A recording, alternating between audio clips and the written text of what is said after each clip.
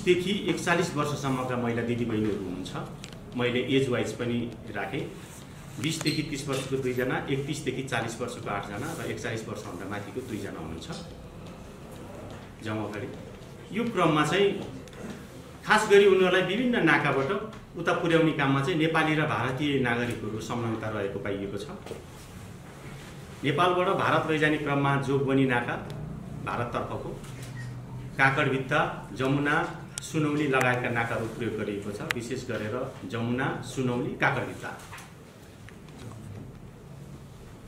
र यहाँबाट भारतसम्म लैजाने भारतसम्म होटेलमा राख्ने र त्यहाँबाट उडाउनेसम्मको पैसा चाहिँ पीडकबाट नै खर्च गरिएको भेटिएको छ।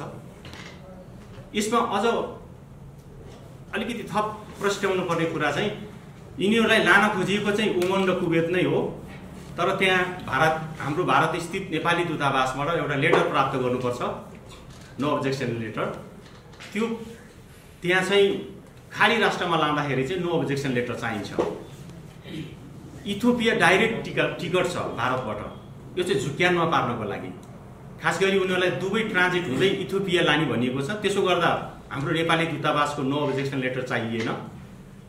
र लानलाई सजिलो। यो मानव तस्करहरूले यो एउटा यो गिरोहले चाहिँ यो बुद्धि अप्नाएको छ त्यहाँ।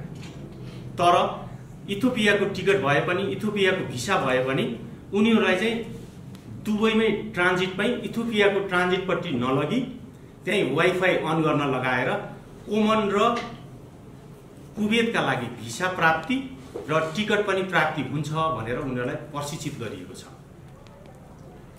यसको सोझासोझी उनीहरूलाई इथोपिया नलइकन ओमन र कुवेत लाने प्रष्ट नियत देखिएको अवस्था छ।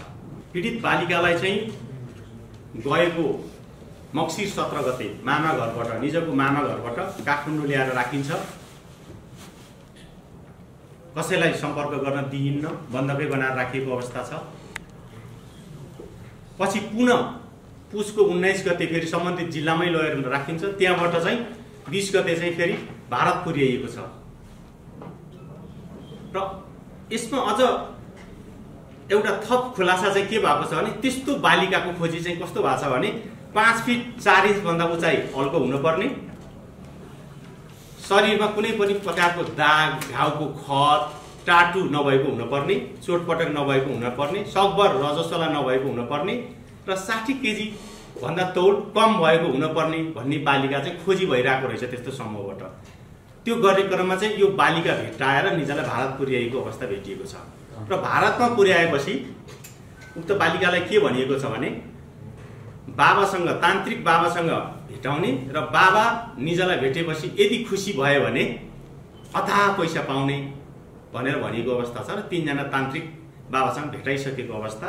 त्यही गर्ने क्रममा हामीलाई जुन खोज तलासको लागि सहयोगको अपेक्षा हुन्छ स्थानीय प्रहरीबाट हामीले तत्त सामाजिक संस्था भारतीय भारतमा रहेको हाम्रो नेपाली दूतावास र भारतीय प्रहरीको सहयोगमा निजलाई भेटाइन्छ। भेटाएपछि हामीले थप उद्धार गरेर नेपाल ल्याइएको छ।